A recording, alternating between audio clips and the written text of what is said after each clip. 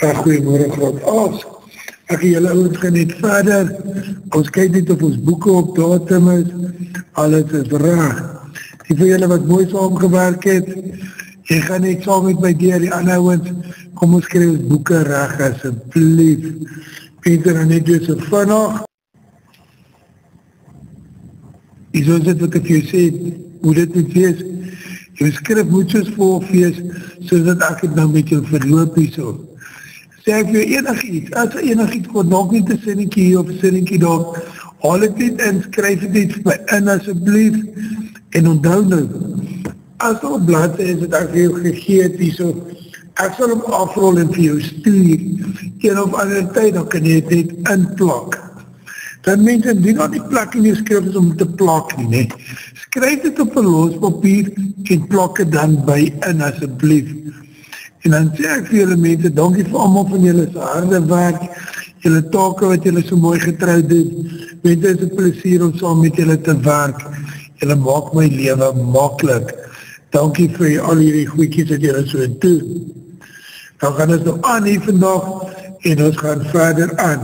Jy blijf nou in jou skrif en jy blijf my na die volgende plek toe. Toenemende beheer oor mijnwerkers en die Britse gronduitbreiding. Reg, julle gaan kyk nou, waar het julle hierdie as een hoof opskrifie geskryf?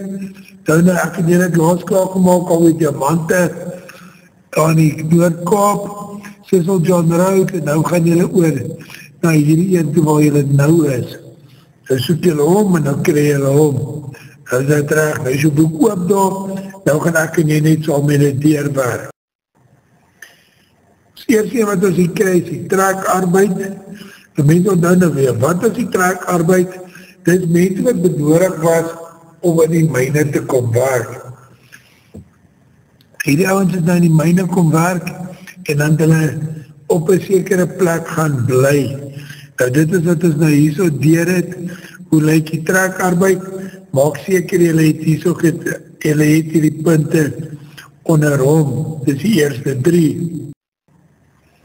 dan gaan hy daar so mense, en hy gaan het nie so oor wat het die mijnbase gedink, gaan het vir hulle makkelijk maak, om die swart, swart werkers te betrek by die myne. Swart werkers was echter nie daarvoor aan nie, want hulle was bestaanboere. So hy het homself gesorg, en nou moet hy vir iemand kom werk. Nou om uit die bestaanboer uit te kom, het die regering gegaan en hulle het een sekere nieuwe wette gaan plaas. En hulle plaas die wette op belasting, hoe om dit te verander en waarom hierdie belasting wette kry wat hulle kan verander.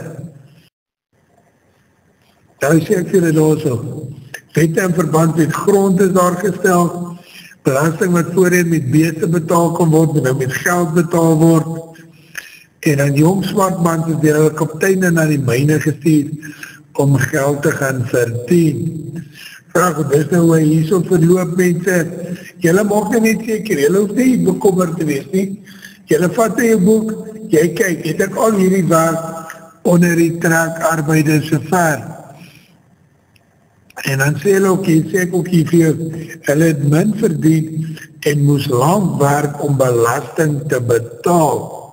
So dit is al wat jy nou hierna kyk, is lekker kort, is vanaf as jy boek op datum is, dan weet ek, jy blaai nie deur, blaai nie deur, ja, ek het hier werk, donkie meneer Druidvoet, en dan gaan ek aan.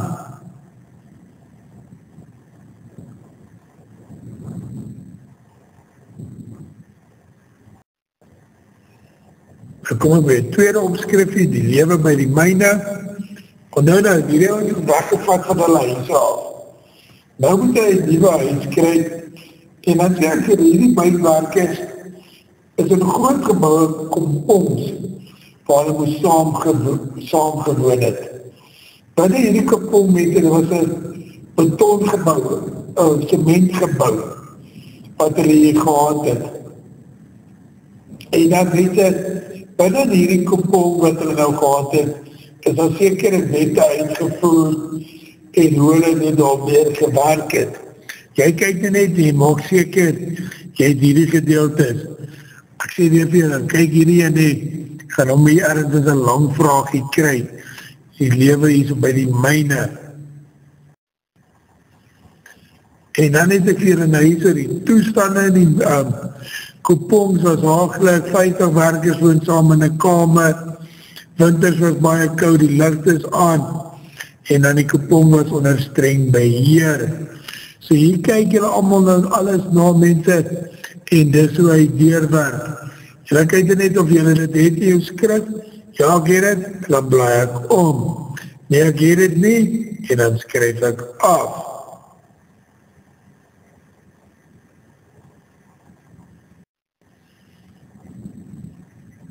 En verder is so, eindig, en Doenas is aangestel as politie, en, en Doenas het so'n bokke gebruik om oortreders te disciplineer ander woorde het ook diamante gesteel, het ook bykie moeilijkheid gemaakt binnen die mijnkapong en dan het jy straf uitgedeel en dit doen al gedoen om jou te slaan dan met so'n bokke. Dan nou nummer 3, die Britse gronduitbreiding. En met die Britte, wanneer hulle grond uitbreid binnen in Zuid-Afrika, Nou, hoe doen hulle dit mense en wat gebeur hier so? Daar was een paar veldsla wat hier plaas vind tussen die Britte en die plaaslike inwoners. En mense, nou het die Britte het ook gedoen, want hulle wou verseker, daar is die hele tijd mense wat vir hulle kom werk. En sê ek vir julle hier so, die, hulle is grond is ingeneem en hulle is gedwong om belasting te betaal, dit is nou die zwart mense binnen in Zuid-Afrika en dan die Britte verslaan die Kozas, Pedis en die Zulus.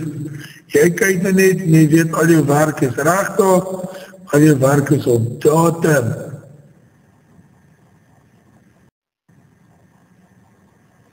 As ek hier by die Anglo-Zulu oorlog, wat gebeur by die Anglo-Zulu oorlog, mense, die Zulus is onder leiding van Setswail, en hulle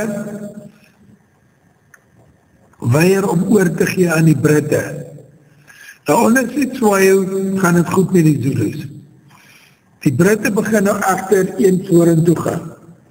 Hulle stuur een ultimatum aan Setswayo en hierdie ultimatum sê vir Setswayo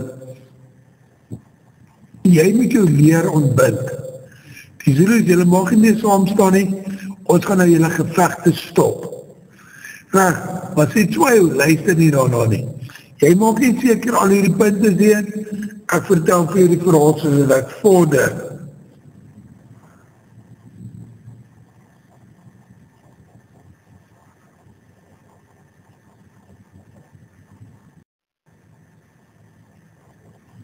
Het vir jou gesê, die twaai het gefeierd om te luister na die ultimatum.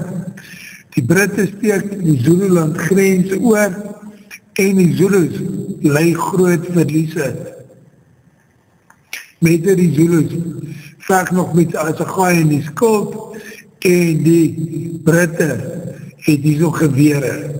So dit is ook een uh, oorlog wat gewen kan word dier die Zulus nie.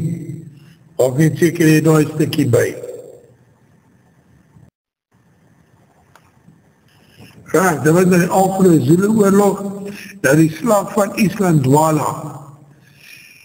By die slag van Island Dwala moet ons onthou, die Britte word onverwachts oorval. Hulle is in die nacht oorval en die Britte het nie genoeg tyd om te gaan en hulle ammunitiekaste oop te maak nie. Nou voor aan hulle gebeuren was al bajonet. Bajonet is een mespunt en hulle moest staat, staat maak om met hulle bajonette te veg speel in die Zulu se gins in en mense, hoekom speel in die Zulu se gins in dat ek net al vir jou vertel die Zulu kon veg met die skuld en as een gaai en nou is het basis min of meer die selfde type oorlog wat hulle hier volg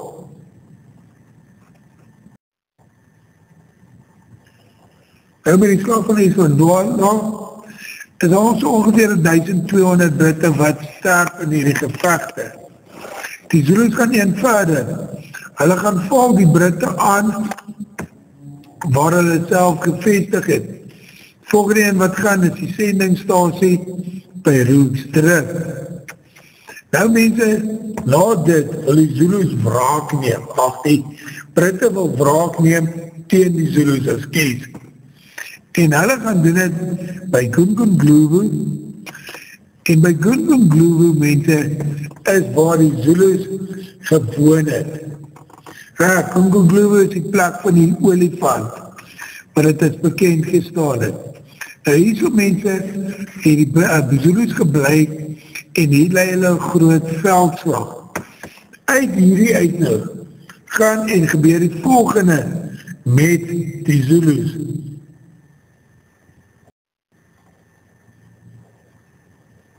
Hulle word in 12 kleiner groepe in verdeel. Ja, nou nou, die eerste slag by Globe, tweede slag by Olundi.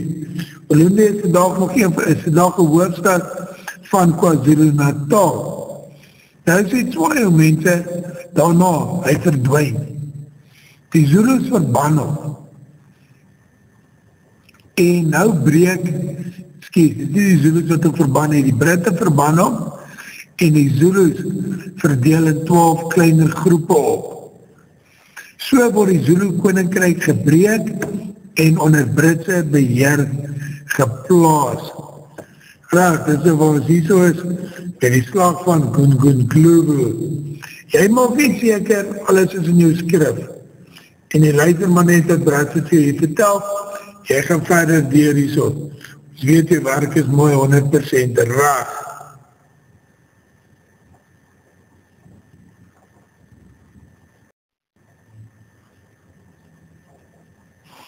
Nou kan ek die volgende waar toe, dit behoort een nieuwe datum te wees, die ontdekking van goud en diepte mijnbouw op die witwaterse rand. Het is nou hier nog gaan kyk, ontdekking van goud en diepte mijnbouw op die witwaterse rand. Wat die ene inleidingkie mense, en ek vertel gauw vir jou hier so, Daar is die eerste goud ontdek, een grote mappe, mappe en en wat het daarmee gebeur in Zuid-Afrika, ter by Baberton, waar hulle goud ontdek het, is maar meestal spoelgoud, nie hoe waarde gehad nie, en toe krijg hulle die goud hier by die Witwatersrand, en dit onder die grond in, waar ons hier gaan, waar ons gaan kyk, en maak nie seker die werk is in jou skrif. Sê ek vir jou, Britse immigrant George Harrison het die eerste tekens van goud op die witwatersrand ontdek, baie delwe stroom na die witwatersrand toe, en die oppervlak goud was van een baie laag waarde, vir min waarde gehad,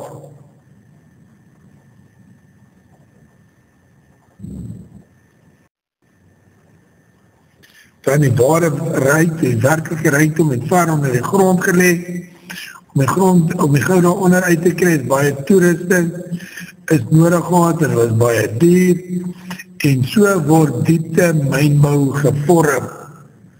Raag hier, het allemaal tot op raag hier so op datum, en dan mense sal ons nou hier so aangaan, die volgende keer, jy mag nie seker die boek is raag, alles 100%.